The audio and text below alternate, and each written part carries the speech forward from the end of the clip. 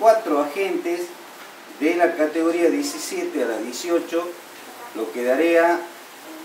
este, lo que daría un total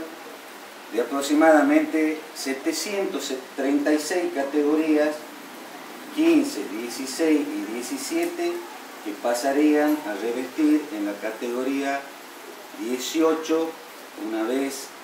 que se apruebe y se eleve la ordenanza aprobando al, Ejecutivo Municipal. También, señor Presidente, en lo que hace al funcionamiento,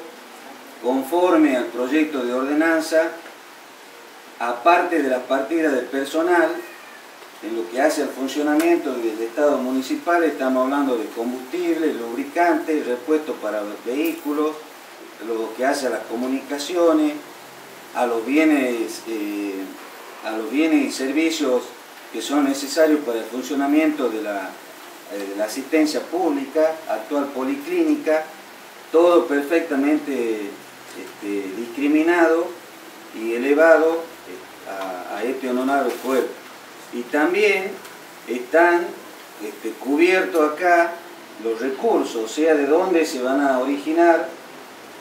los recursos que se van a implementar en el gasto de personal y para el funcionamiento.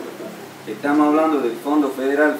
Solidario, del Fondo fondo, y del Fondo Fiduciario,